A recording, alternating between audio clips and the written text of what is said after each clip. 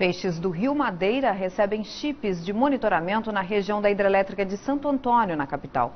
A intenção é acompanhar a reprodução das espécies que conseguirem percorrer o canal até os lagos artificiais construídos pela usina.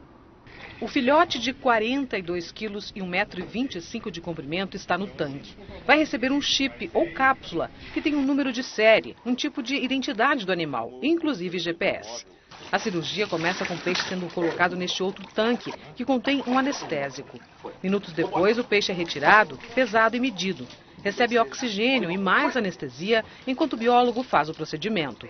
Um pequeno corte para introduzir a cápsula, dois pontinhos com agulha, fios cirúrgicos e pronto. A ação precisa ser rápida. Daqui ele segue de barco e a última etapa é a soltura no rio. A partir de agora, todos os movimentos do peixe num raio de 10 quilômetros da usina de Santo Antônio serão vigiados pelo chip. A gente acompanha a equipe que faz o monitoramento móvel, através de radiofrequência. E uma antena acoplada na voadeira, eles recebem o sinal dos peixes chipados. Um apito mostra onde cada um está. Quando um peixe é identificado, ele emite um sinal sonoro,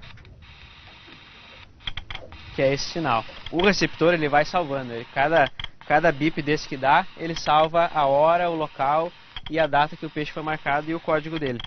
E depois, quando eu passo esses dados para o computador, eu posso analisar daí quais foram os peixes que, que a gente capturou daí.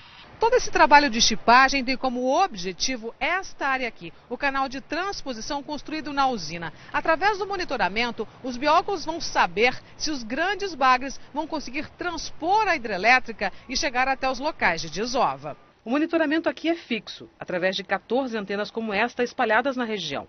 A pesquisa começou em 2011, mas este ano, de fevereiro a abril, será a primeira piracema dos peixes de couro que vai ser acompanhada pelo sistema. Algumas espécies uh, já, já estão fazendo uma exploração dessa, dos indivíduos que foram marcados, que é principalmente a dourada e, a, e o babão.